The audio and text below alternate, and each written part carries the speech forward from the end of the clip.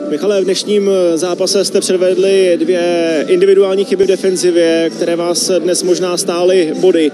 Kolik bodů už vás celkově na podzim stály ty hrubé chyby, protože se neustále opakují? No, tak uh, určitě dost, tak těch hrubých chyb je v každém zápase spoustu a ty týmy nás za to trestají, takže určitě hodně bodů nás to stálo.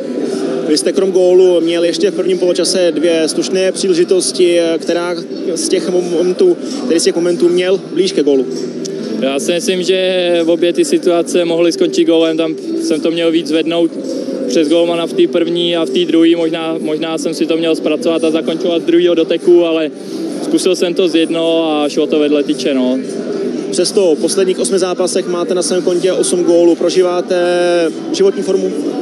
Jo, tak dá se to tak říct, jako, tak tohle se mi nepovedlo ještě a jsem za to rád samozřejmě, ale mrzí mě, že spoustu těch mých gólů nevede k bodům. Sleduje vás také kouče reprezentace Karel Jarolím. Jaké je pro vás velké lákadlo zahrát si českou repre třeba i s bratrem Milanem? Tak já si myslím, že pro každého je to obrovský lákadlo a ale, ale musel, bych, musel bych takhle pokračovat dál a v každém zápase podat výborný výkon, abych se vůbec tam mohl podívat. Díky za rozhovor.